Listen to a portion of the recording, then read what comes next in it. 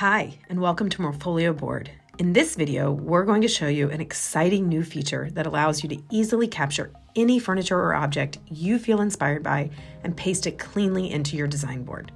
Apple has a very cool new tool called Cutout in Photos, and it makes it so easy to capture just what you want from a scene, no matter where you may be, and get it right into your mood board. Let's get started. Step one take a photo of something you love.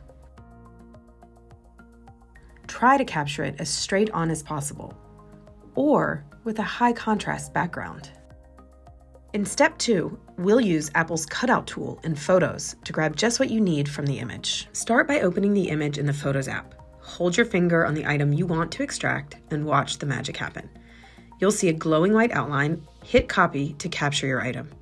If it doesn't grab what you want, try another photo. The feature works best when you take a photo yourself, but it may also work on web photos, which is key in grabbing your favorite furniture from lifestyle images. In step three, we'll get that piece onto your board. Simply open the board app and hit paste. This incredible tool makes it so easy to capture color, texture, and objects from any surrounding. Another tip Look for a blank spot on your board, but if you're pasting over a photo, make sure that layer is locked and hit paste. We can't wait to see what you make in board. If you're enjoying this video, be sure to like and subscribe for more design content. Thanks for watching and be sure to check out our other how-to videos.